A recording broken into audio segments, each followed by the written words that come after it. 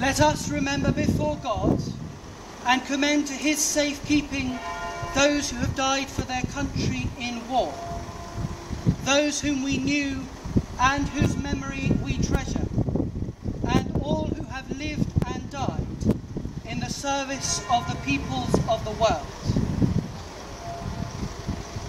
They shall grow not old, as we that are left grow old. Age shall not weary them, nor the years condemn. At the going down of the sun, and in the morning, we will remember them. We will remember them.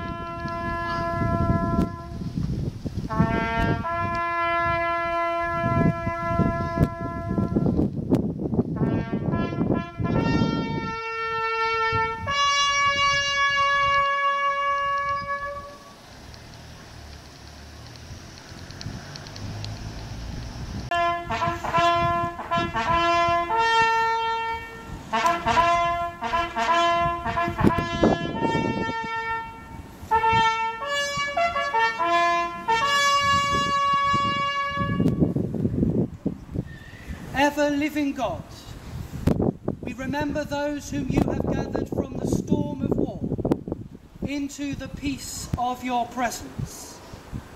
May that same peace calm our fears, bring justice to all peoples, and establish harmony through Jesus Christ our Lord. Amen. Now may God give to the living grace and to the departed rest, to the Church, the Queen, the Commonwealth, and all people, unity, peace, and concord, and to us, all God's servants, life everlasting. The blessing of God Almighty, the Father, the Son, and the Holy Spirit be amongst you all, evermore. Amen.